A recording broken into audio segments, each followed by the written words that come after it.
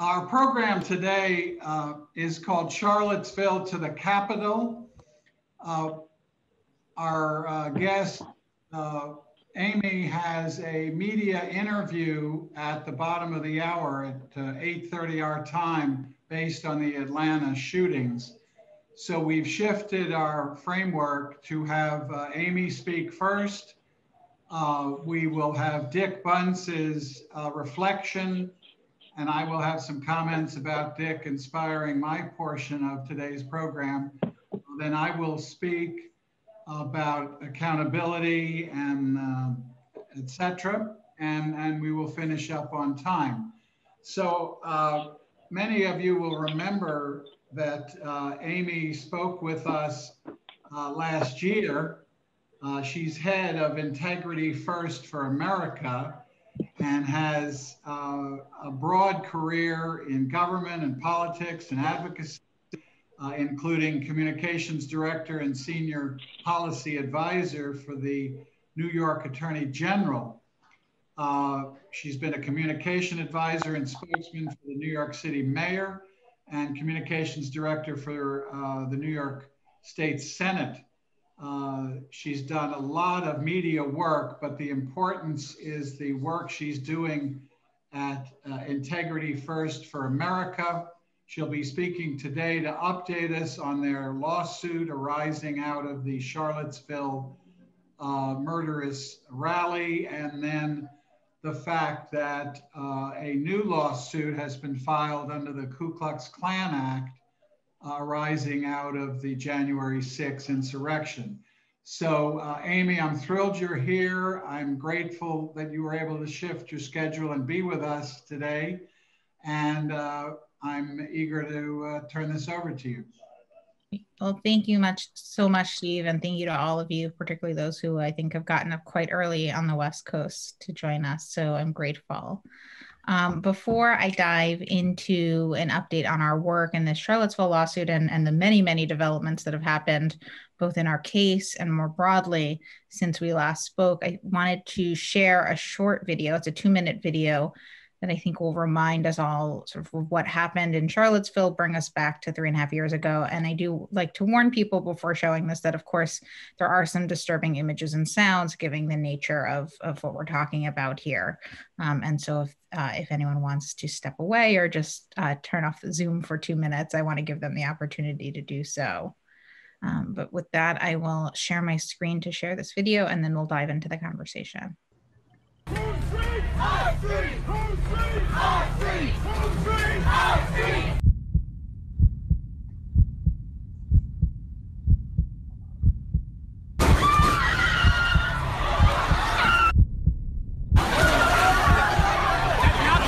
Terror in Charlottesville. Stark displays of racism. Trying to promote a car has rammed into a crowd. Victims thrown in the air. Deadly act of domestic terror. One woman dead, others killed in wounded. 10 of the people who were injured in Charlottesville, including three of the people who were hit by that car and survived, have now brought a lawsuit against not only the murderer who drove his vehicle into the crowd, but also the leaders of all of the white nationalist groups that organized and promoted the Charlottesville event. We are Integrity First for America. We are here to disrupt the extremism, to interrupt the cycle to dismantle and bankrupt these hate groups and their leaders, to put them out of business, and most importantly, to stop the violence. Integrity First for America is leading the fight against white supremacy. Our Charlottesville lawsuit is the only current legal effort taking on the broad leadership of this movement, holding white supremacists accountable for their premeditated violence. We know that it's working. They're already facing huge financial and legal consequences. But we also know what we're up against. Bankrupting Nazis isn't cheap. These groups are still recruiting, weaponizing fear, and preparing for their next attack. Now more than ever, we are reminded of our obligation to dismantle the systems of white supremacy that poison this country. Turn your outrage into action, because hate has no place here. So I, I mean, obviously that that video. I think you know, I, I see it nearly every day, and still every time I see it, I feel this sort of like lump in my throat uh, because it's still stunning to me that that something like that could happen in this country. And at the same time, we've seen over and over again over the last three and a half years that it wasn't an isolated incident, but rather a flashpoint and a preview of the violence that's followed. And it certainly culminated in many ways on January 6th. And of course, the, the broader cycle of violence, including the attacks this week in Atlanta against Asian American women, um, are part of this larger cycle of white supremacist violence that has deep roots, not just in the emboldenment and enabling of, of extremism as we saw in Charlottesville, but of course, much deeper um, challenges. And so before uh, I sort of dive into some of the updates, I thought it might be worth giving a two minute refresher on the nuts and bolts of our lawsuit. Um, I think many of you, uh, if you were on our on the last call I joined, might remember um, that our suit is not a speech case, but rather a conspiracy case. It's a case that, based on extensive social media chats that are all detailed in our lawsuit, details how the violence in Charlottesville was not an accident, but rather planned for months in advance on these social media sites, including on a site called Discord, where the neo Nazis and white supremacists discussed every detail in advance, down to discussions of whether they could hit protesters with cars and then claim self defense which is, of mm. course, precisely what they did during a weekend of violence that you just saw detailed in that video. Um, and of course, it's worth noting that the violence in Charlottesville didn't and didn't start and end with the car attack, but was truly a, a weekend of violence from the Tiki Torch March on Friday night, in which a number of our plaintiffs were surrounded on the UVA campus um, as these neo Nazis chanted, Jews will not replace us in blood and soil, and threw fuel and lit torches, kicked, punched, beat them up. One of our plaintiffs, an African American undergrad at the university, said he thought he was going to die. The violence, of course, continued the next day, including um, when they surrounded the small local synagogue in downtown Charlottesville, chanting Sieg Heil, carrying semi automatic guns, um, and threatening to torch the synagogue um, which had to evacuate both congregants and Torah scrolls out the back. Similarly, these neo Nazis and white supremacists drove white Mercedes vans specifically around the Black neighborhoods of Charlottesville to terrorize those communities. They charged a line of interfaith clergy who had been peacefully protesting, including another one of our plaintiffs, Reverend Seth Wispelwey. And the day culminated, as was promised in those online chats, with the car attack that killed Heather Heyer and injured many of our other plaintiffs, as you saw in that video. And so that wasn't an accident, but rather that was a meticulously planned conspiracy to bring violence to Charlottesville to target people based on their race, their religion, and their willingness to defend the rights of others. And as it turns out, we have laws that are meant to protect against that. And so our plaintiffs, um, who are an incredibly brave coalition of Charlottesville residents injured in that violence, filed suit in October of 2017 under a number of statutes, but the one that is most of note, and I think will be a big point of discussion here today, is something called the Ku Klux Klan Act of 1871. And this was a law that was passed exactly 150 years ago. Next month will literally mark the 150th anniversary of the passage of the KKK Act. Um, and it was meant to protect recently freed slaves from Klan vigilante violence in the South, in which Klansmen would use the threat of violence to terrorize these Black Americans and try to strip them of their recently won 13th, 14th, and 15th Amendment rights. It was meant to protect against these sorts of racist conspiracies to undermine our civil rights. Um, and that is, of course, precisely what happened in Charlottesville. And as we've seen over and over again, what has happened a number of times since. Um, and as Steve mentioned, uh, we've now seen two lawsuits emerge from the Capitol insurrection brought by two separate members of Congress, Representative Benny Thompson and Representative Eric Swalwell, um, who use a different section of the KKK Act, but the same overall statute to hold accountable those that they allege are responsible for that violent conspiracy. And so it's stunning to me that 150 years after it was first passed, the KKK Act is newly relevant, not just through our suit, but through these Capitol lawsuits as well. And it's a sad testament to the alarming rise in violent white supremacy and violent extremism that has become so emboldened and so pervasive over the last few years. Um, to step back a bit, I think it's worth thinking, uh, understanding both how our lawsuit fits into this broader landscape of hate and also share some of the updates in our case since we last spoke. Um, most notably, um, we are officially headed to trial this October in federal court in Charlottesville. We were supposed to head to trial last fall, and then COVID put a wrench in that, much like it did with everything else happening in our world. And uh, we are now scheduled for trial in October in the Western District of Virginia. Um, we thought it was very important to do this as a jury trial. Um, we could have tried to do this as a virtual bench trial, which would have meant a trial just before the judge. Um, but we think that there is particular power in having a jury of Virginia residents hold accountable these extremists for the violence that they orchestrated. And we know throughout history, trials like this have been enormously powerful in forcing a public reckoning and shaping the public discourse on an issue. You can go back to the Prop 8 case about a decade ago in California, which was critical in shaping the marriage equality discussion and fight. You can go back to the Scopes Monkey trial and so many trials in between that have really been not just about the trial and the parties themselves, but flashpoints and touch points in a much broader social and political debate about who we are as a country and the values we're supposed to represent. And uh, we truly believe that this trial can play that role on this issue, on the issue of violent white supremacy and extremism.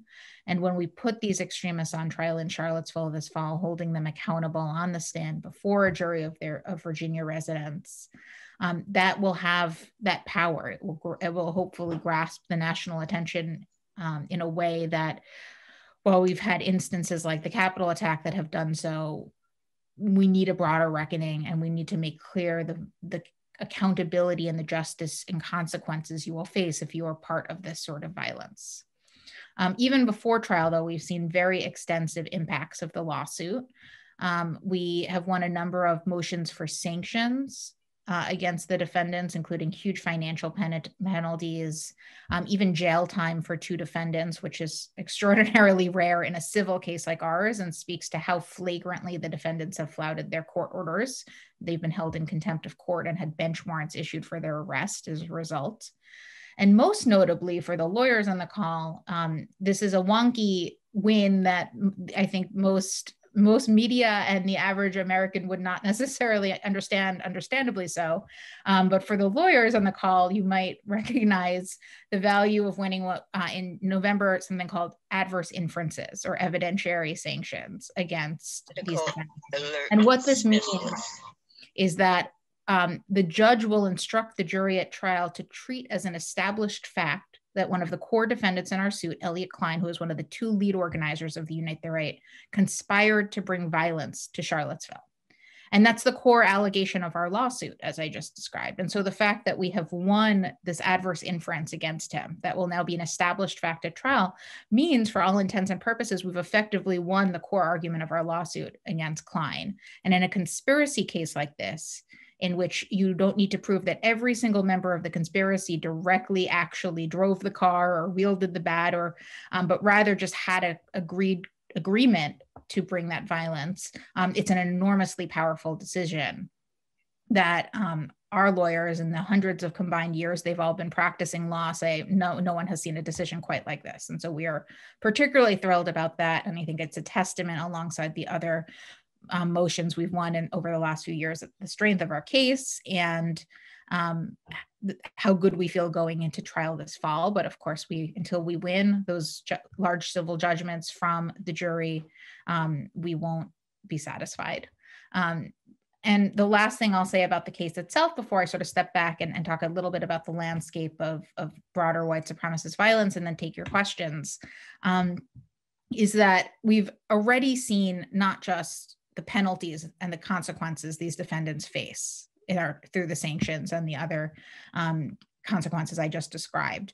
But we've also seen the very real financial and operational impact it's had. So I might have mentioned to you last time we spoke, it probably had just happened, but Richard Spencer, who until recently was the country's leading neo Nazi, is a defendant in our suit and has said our case has financially crippled him other defendants have talked about how they can't open a new headquarters because of our case. They can't go about their um, their business as usual. They're unable to to perpetuate their activities in the way that had been possible for so long because we've had such a financial and operational impact on them through these sanctions and through other accountability they've faced. And when we win large financial judgments from the jury at trial, that impact will be infinitely greater. And so, through this case, it's not just about the message it sends, the deterrent effect it has, the public reckoning it will fuel, but also the very tangible and concrete ability to bankrupt and dismantle the leaders and the groups that are at the center of this movement. The last thing I'll say is, is sort of how our case fits into this broader crisis of violent white supremacy and violent extremism we know and we have for some time that our defendants truly are central to this movement. The leaders and the groups that we're taking on, the two dozen individuals and hate groups responsible for orchestrating the violence in Charlottesville, have deep and disturbing connections to the broader cycle of violence. We know that the Pittsburgh shooter who killed 11 Jews praying in synagogue two and a half years ago communicated with some of the Charlottesville leaders before their attack. We know that the Christchurch shooter, who just exactly, almost exactly two years ago, killed dozens of Muslims praying in mosque in New Zealand, donated to two of our defendants, Spencer and Anglin, and separately painted a white power symbol onto his gun that was popularized by a third. And Christchurch was live streamed on social media and in turn inspired the Poway attack near San Diego at a Chabad there two years ago, the El Paso attack that targeted the Latinx community in Texas, um, and a whole host of other white supremacist attacks. And now, of course, with the Capitol attack just a few months ago, and so and the broader rise in hate crimes and extremism, we're seeing other alarming parallels and um, and connections. We wrote in the aftermath of the Capitol attack about the many parallels that exist between Charlottesville and the Capitol.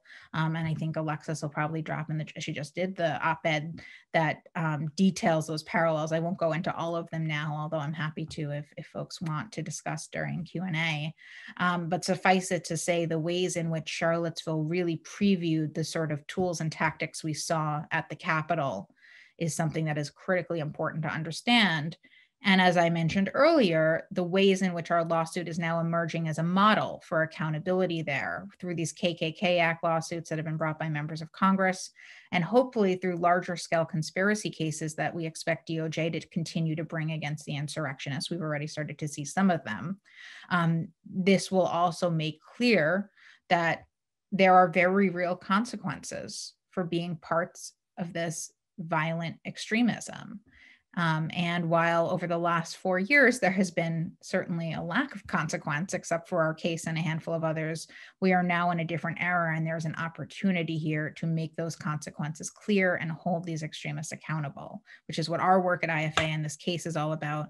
Um, and also, we hope can really be a model for, for so many of these other efforts to hold accountable these violent extremists. Um, so I will leave it there and happy to answer any and all questions. And Steve can tell me if there are other parts of this work that I missed in my presentation that you'd like me to focus on. Yes, you do this so well, Amy. Uh, I wanted to uh, ask you two uh, questions. Uh, as recently as yesterday, a member of Congress uh, was speaking against uh, using a hate crime analysis regarding the Atlanta uh, killings, and he invoked the First Amendment. And uh, I think virtually everybody on this call knows how much uh, the First Amendment means to me. But there has already been a ruling in your case on the First Amendment defense uh, raised by some of the defendants. And I, I'd appreciate your uh, just uh, explaining and developing that for our group. Absolutely. And you can certainly probably speak to this even better than me. So please feel free to jump in and I and your LA review of books piece, which um, we can uh, make sure we we share in the chat at some point. Um, I think does a, a great job de- delving into this as well as it relates to our case and of course more broadly. Um, but but you're absolutely right to what you're alluding to, which is that while you and I, and I assume everyone on this call, hold the First Amendment very sacred, it's also is never was never meant and has never been meant to protect violence. That is not what speech is about. Um, and in our case, as you can imagine, the defendants filed motions to dismiss the case in early 2018. And in a July of 2018 ruling from the judge, Judge Moon, he made very clear, citing extensive precedent, that the First Amendment does not protect violence. And if these extremists had simply gone to Charlottesville and stood on the street corner with their swastikas and their anti Semitic and racist and bigoted uh, chants, and their general heinous behavior um, and ideas that would have been totally permissible, as abhorrent as I find it, unless I'm sure everyone on this call finds it. Um, but that's not what they did. They went to Charlottesville with the intent to bring violence to that community. Um, they planned it in meticulous detail on social media, and then they did it um, as as I just described, and as our lawsuit really describes in alarming detail. And so that's not protected by the First Amendment, nor are um, a number of the other incidents of violence and extremism that we've seen in recent years. Um, the other thing to note that is often used, particularly by the right, is this idea that social media companies have an obligation to give anyone a platform for their extremism. And this is a debate that I expect to see evolve in the coming months as well. And there have been some efforts by members of Congress to begin to, to start this conversation and figure out how, within the bounds of a free and fair internet, we can also ensure that companies are incentivized to not give create an algorithm that effectively not just elevates extremism, but sends people down the rabbit hole and radicalizes them in ways we've never seen before. Um, and that's not what the, that's not what these social media companies are obligated to do. Just like in any private space, whether it be a real world space or a virtual space, there are terms of service. There are the terms that we agree to as as con- customers or users of that space the same way we as people who participate in university life or any other entity that's a private space agree to those terms and so social media companies have every right if they would like to limit the extremism the violence the harassment that happens on their platform but there's been an effort among particularly far right leaders to suggest that they don't that that somehow the First Amendment protects their right to use and exploit social media to plan violence, to um, to harass people and threaten people. Um, and so I suspect that this is also a conversation that will be evolving in the public sphere over the coming months. Um, and I hope that there are ways that we can su- successfully thread the needle, protecting a free and open internet, obviously protecting speech, but making clear that social media companies have an obligation and a moral responsibility here to to stop the cycle of radicalization that has run rampant on their platforms and the use of their platforms the exploitation of their platforms to plan violence and and uh, and and more. Um, and so i think there's a lot of discussion right now happening around the first amendment that doesn't fully grasp what the first amendment is. And it's so important for those who are civil liberties advocates and experts to make clear those distinctions, which is why I'm grateful to Steve for his piece on this front and his leadership here. And, and I think many of you as well, I'm sure, have been outspoken in this regard. Uh, we have a few questions. I just want to ask my second one. Would you expand on the recent use of the Ku Klux Klan Act in the two civil lawsuits brought by members of Congress?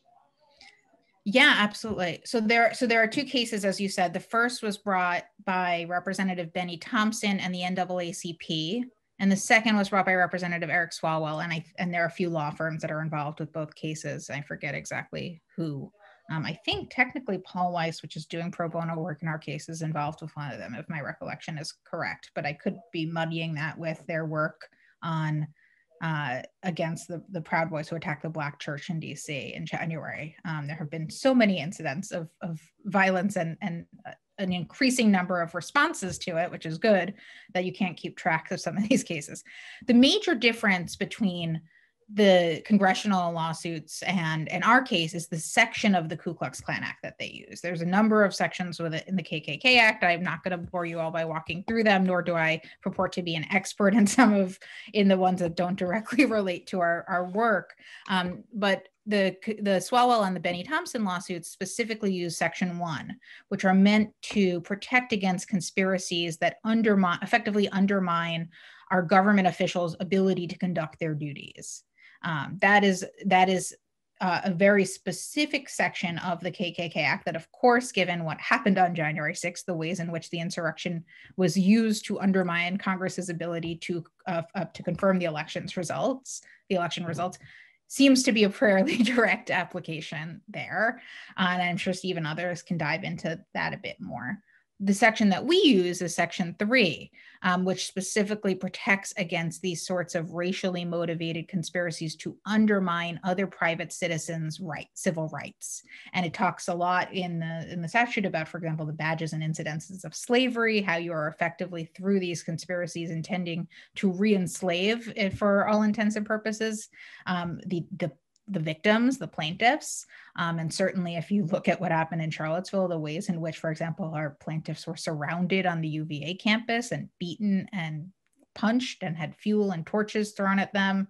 Um, and with the language, the racism, the other forms of hate that underpinned that conspiracy, it's it's hard not to see the direct applicability which again the, the court has said if we if, we prove the facts as alleged in our complaint um, the, the kkk act does indeed imply and there's also some strong precedent there particularly a case called griffin v. Breckinridge from i believe the 70s um, and a number of cases involving freedom riders and others throughout history that have used this statute. Um, of course the the the use of the statute is an interesting parallel to the evolution of violent white supremacy in this country. But the fact, as I said earlier, that it's so applicable in 2021, not just in our case, but in these other cases, is a sad testament to the alarming rise in, in violent white supremacy.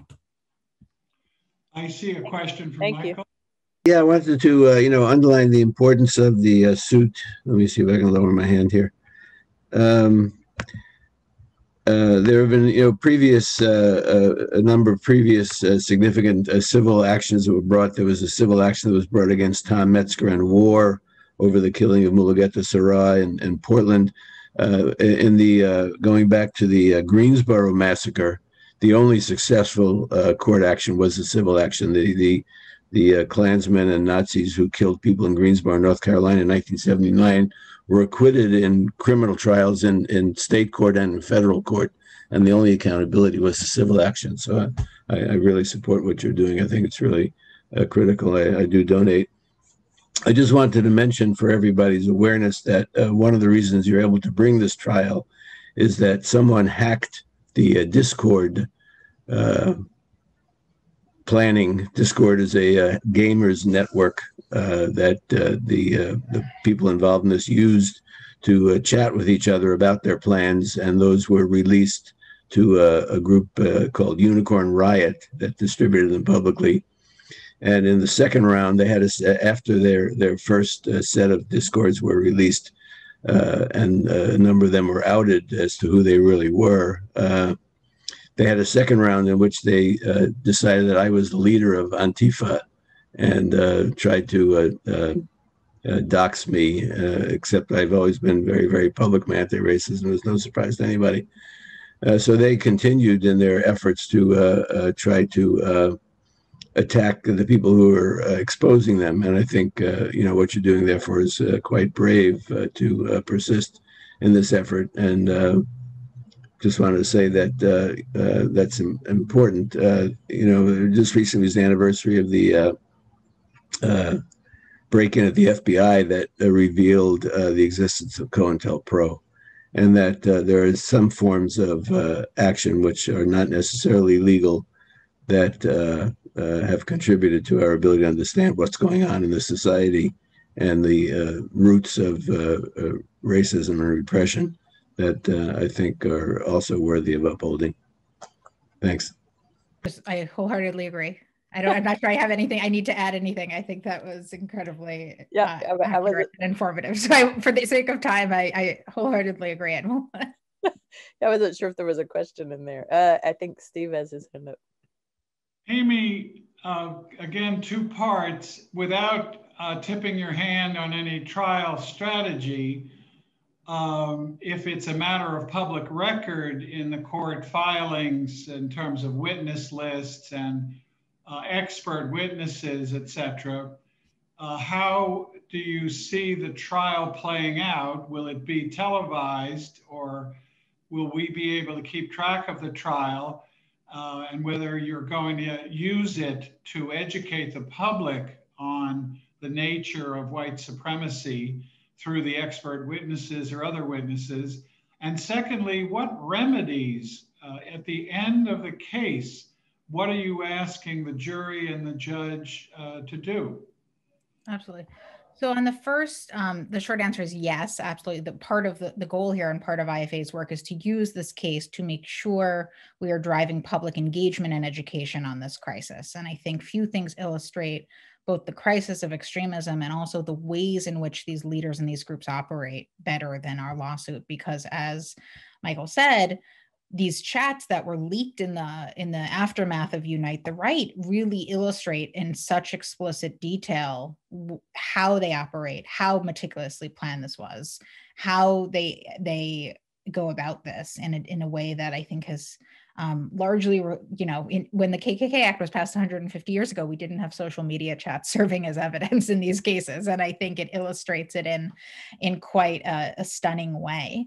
Um, and that's the goal here. Um, we do not know if it'll be tel- televised. There are a number of, of local television stations in Charlottesville that I suspect will be asking the court for the ability to televise it. In federal court, it's it's sort of an open question, and, and it's left up to the judge. Um, and so certainly we believe that there's a public interest here, and uh, and I suspect that as we approach trial, we'll have we'll know more about where that's headed. But I know that many local television stations and other entities will be making that case.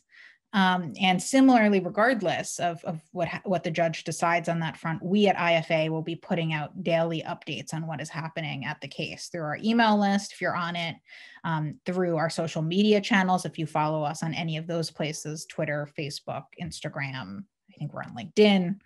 Who knows? There's all these sites. We might even join TikTok if you're on that. Um, but we will be making sure to use all of the tools we have um, to keep our supporters updated of uh, what's happening in court, who has testified, what the gist was, um, and if it's not televised, as sharing as much information as we can in that format.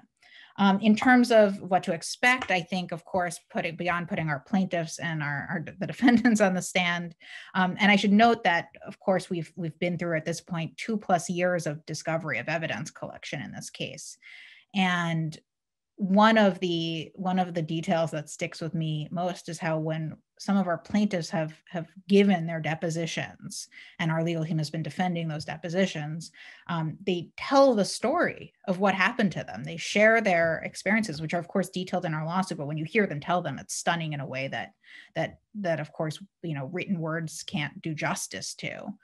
And so one our one of our attorneys who was defending the deposition of one of our plaintiffs texted me afterwards to say that he had looked over to the court reporter um, who was transcribing the deposition and she was crying like silently as she as our as our plaintiff was sharing the story of what happened to her and i think that that is of course a testament to how horrific what our plaintiff survived was, but also the power of making sure the jury and the broader world hears their story during trial. And that will certainly be a big part of it. Um, we also have on our website expert witness reports that have been so some of that so a lot in this case is under seal and under protective order as you can imagine. But um, increasingly we're able to release bits and pieces of, of the expert witness reports and other elements. And so we have three expert witness reports on our website two academic experts in white supremacy who have a really stunning report on how sort of a lot of what the defendants will use as their ex- as their uh, excuses. And so, if Alexis, if you can actually put the page to the full list of expert witness reports, which is under case documents in the chat, that would be better than just this one direct report. Um, and so we have Pete Simi and Kathleen Blee, who are academic experts in, in white supremacy and how they oftentimes will say that they're joking, that they're just, you know, joking around, which will be a big part of their defense, which of course uh, is a common white supremacist tactic. And, and Kathleen and Pete and other uh, will, will detail that and the many other ways in which Charlottesville really aligns with longstanding white supremacist tactics. Um, we also have Deborah Lipstadt, who I, am sure some on this call is are have have probably mixed feelings about. Um, but I think the importance of having a diversity of idea of ideological views when it comes to anti-Semitism, white supremacy, and extremism, all advocating in support of our plaintiffs um, through their expertise is particularly powerful here. And, and Deborah's report dives into how what we saw in Charlottesville really harkens back to longstanding white supremacist and Nazi tactics and language and imagery. And then we also have, of course, an expert who has reconstructed the car attack, um, which is important because it illustrates the, the, deliberate nature of it, the fact that he went in, he backed up, he went back in. Um, and it speaks to again the horror and the and the extensive Im- uh, injuries, both physically and psychologically, that the plaintiff suffered. Um, so those are three reports that are available on our website right now for anyone who really wants to dive in there. Um, we will have, of course, additional, plenty of additional testimony in this case. Um, that including, and I think most, like I said, most powerfully from the plaintiffs. I believe there was a second question there. Thank you. Yeah, actually, I think there are two others. I just wanted to make sure uh, we're at 8.18 and you have to leave at 8.30. Is that? Yes. Okay. So if we can keep the questions really brief so we have more time for response. And if you could also, before you leave, um, tell us if there's anything specifically we can do besides following the case that would help support um, the work. I can do that briefly now if that's helpful. Okay, uh, sure. While, uh, so I don't forget at 11:30.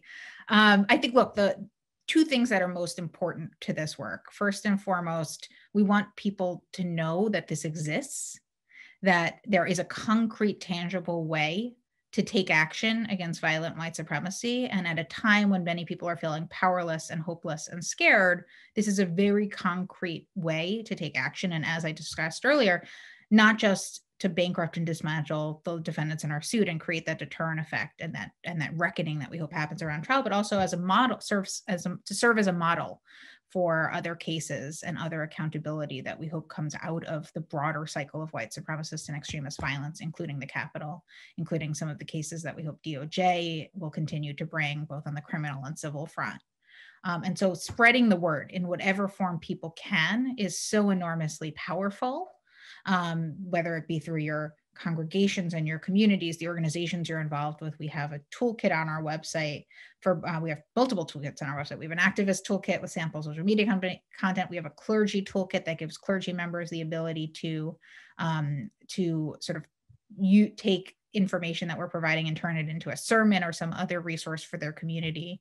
Um, and for those who are observing Passover, we also just released our 2021 Passover Seder supplement um, which is at integrityfirstforamerica.org slash Seder. And it's just a two page document that, uh, uh, that sort of slips right into your Passover Seder or your interfaith Seder, which I know many people have, um, and allows uh, you to sort of talk, uh, use a holiday that's so focused on justice and freedom and liberation to talk about the modern day fight for those values and those needs. Um, and so those are some of the tools we have. The second thing is, to be completely frank, while the legal work in our case is pro bono, there are, of course, extensive financial needs, particularly related to security, which is the largest line item in our budget. So, for those who know people who might be interested in financially supporting this work, you should know that every donation directly supports security and ev- evidence collection um, in this case. So it's not going to fancy legal fees. Our our legal team, we estimate, will have donated over $25 million in legal work by the time trial is through, um, if not more um, but rather it's going specifically to security and other needs like that, given the threats and harassment the defendants uh, have continued to uh, lodge against us, to put it lightly. Thank you. Thank you for that. And, and we can follow up on those. Uh, let's quickly, uh, Dave, have your question.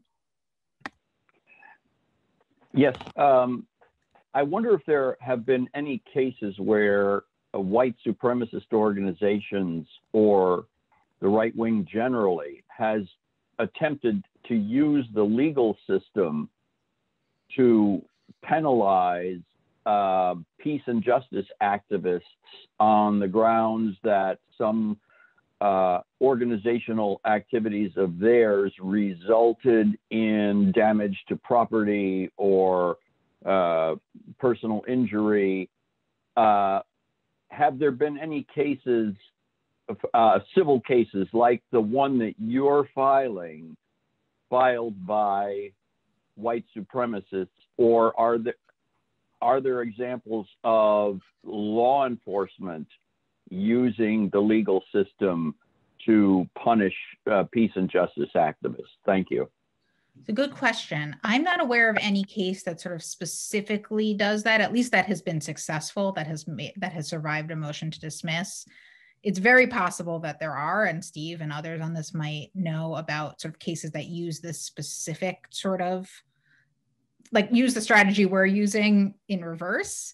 Um, there are, I think, someone talking about SLAPP lawsuits, which absolutely apply here sort of more broadly and have been used. And, and in New York, for example, I think that just there was an anti-SLAPP law that's passed, and and there's uh, uh, lawyers like Steve and others who can probably speak to this in far more articulately than I can. Um, what has a few things that your question prompted that I want to note. One, there's actually um, a, a prosecutor in St. Louis, I believe, who is using a section of the KKK Act against the police there for their violations of people's civil rights. So, in fact, there are other applications of this that, and while I don't know what will come of that, these lawsuits don't move quickly, as as you can tell from ours. Um, and there's a ways to go before we we know the I, I, don't even know where that that case currently stands. I don't know if it's even been through the motion to dismiss at this point. Um, but clearly there are way there are people thinking about how we also use this against the other systemic ways white supremacy works including among police. And so that's, I think, an interesting point. I do know that, for example, Jason Kessler, who's one of the defendants in our lawsuit, the Kessler and Sines v. Kessler, which is the name of our suit, um, has brought suit against, for example, the city of Charlottesville, alleging a whole host of things that ways in which they supposedly didn't protect his rights. And I, I don't think that that suit is going to be that successful, but um, there are efforts to use sort of the, this this to pretend to be the victim in the justice system by extremists that way. And the last thing I'll say is also that your question raised um, sort of an important point that I think will come up around the debate around a domestic terror statute. And a number of civil rights groups have, have been outspoken about the fact that, including us, that we have the tools we need to take on extremism now in our justice system. We have criminal and civil tools. We haven't had a DOJ that was willing to do so over the last four years, but hopefully that's changing. But now, with this debate about whether we need a new domestic terrorist statute, there are very real concerns that some will use a statute like that against Black Lives Matter or against other civil rights groups. Um, and I and, and, so I think about like 50 or so um, groups like the Leadership Conference for Civil Rights have put out a letter to that effect talking about uh, talking about those concerns. And I think what you're raising is something that I know many civil rights groups, us included, are thinking about in the course of this debate to make sure that in this effort to take on white supremacy and violent extremism, there aren't laws being put on the books that can be further abused against Black Lives Matter and others, um, other civil rights activists. Well, I can add to that uh, there was a lawsuit brought by a police officer in Baton Rouge, Louisiana, against DeRay McKesson. Yes, yes, that's who, a good point. Right? Who was an organizer for Black Lives Matter, and they held a rally and protest uh, against a police shooting by a police officer. During that rally, a police officer was hit by a rock and injured no one has been able to identify who threw the rock. Instead, the police officer sued Black Lives Matter and DeRay McKesson. And unfortunately, until uh, a recent ruling, the case was upheld by the Louisiana courts on the theory of negligence that because Black Lives Matter called a protest, because one random person threw a rock and injured a police officer, uh, Black Lives Matter and McKesson could be sued. Uh, the court held that Black Lives Matter is a movement, not an organization, so that part was thrown out. But uh, up until last November, the case against McKesson was going to go to trial, not because he had conspired, not because he had done anything knowingly. And fortunately, uh, the current conservative Supreme Court uh, dismissed uh, that ruling, uh, it sent the case back for clarification, but essentially it was not buying the mere negligence standard. And as we finish here, as Amy's been emphasizing, the conspiracy and the evidence that she and her group have presented is a world of difference. But uh, you're right, Dave. Uh, there have been efforts to turn the tables at times.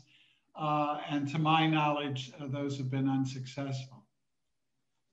Okay. Um, in respect of your time, Amy, any any parting thoughts because we're at eight twenty eight.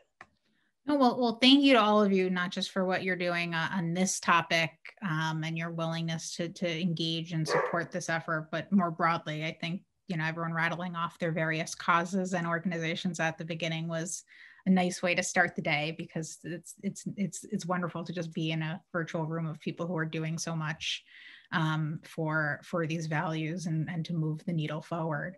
Um, and so so I, please you know don't hesitate to reach out. I, we put our contact information in the chat um, if we can be helpful. Um, I hope that the resources that we have for clergy and faith leaders for activists and, and anyone in between are helpful, including the Passover resource, um, whether you are celebrating or anyone you know is celebrating or you're going to an interfaith Seder. Um, and uh, please, like I said, don't hesitate to, to reach out if we can be helpful. Um, if you are interested in um, getting involved, whether it be through, uh, you know, a virtual, like inviting your own communities to some of the virtual programs we do, which are happening quite frequently, please let us know and we can um, bring you into some of the virtual programs that we have on the calendar um, or uh, work with you in any other way to, to get out the word on this effort. Um, so really thank you to all of you and thank you to Steve and the whole team for uh, having me again. Thank you very much and hope the, the news conference goes well. We look forward to seeing it. Thank you. Thank, thank you. you so much.